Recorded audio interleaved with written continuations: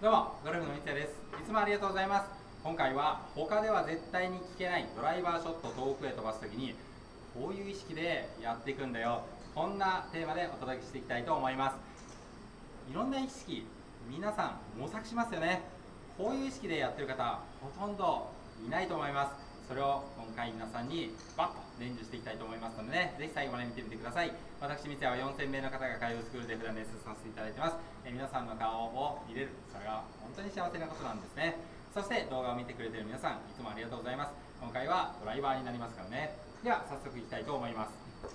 いろんな意識をいろんなことをいろんな工夫をしながら皆さんやっていますよね。これがまさにゴルフの一つの楽しさだとは思います。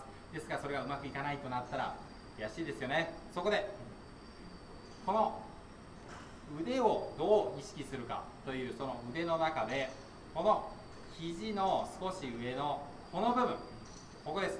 この外側の部分ここをこの脇腹にくっつけるようにスイングをしてみてください。脇を締めろとか肘を開かないとか、えー、こういう教えというかこれは結構よく聞くと思いますがこの腕のこの部分です。肘のちょっと上のこの外側の部分。ここをこの脇の部分にくっつけるようなイメージ。ここを触っていくような感覚です。ここです。この外側が触るんです。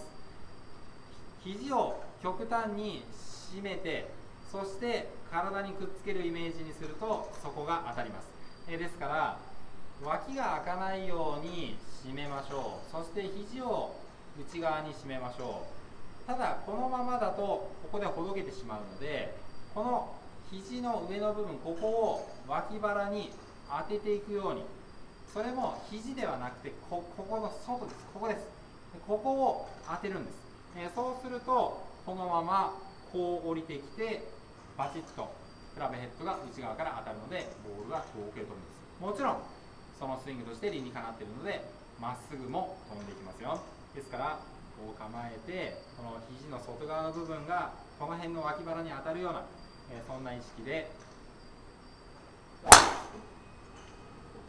打っていくんですね。そうするとボールがスーッと力強く飛んでいきます。そしてクラブヘッドが内側から降りてくれますのでスライスが出たりとかそういうショットに非常になりにくいボールが捕まっているショットが出るんですね、えここがとにかく離れてしまうとクラブヘッドは遠くに行ってしまって勢いが全くつかないんですね、えですから体の近くに下ろしてくるにはこの肘の上の腕の外側の部分ここですね、えこの部分をくっつけていく、えこういう意識でやってみてください。肘をくっつけようとするとこっち側に来てしまうので、えそうではなくて肘の少し上の部分ですね。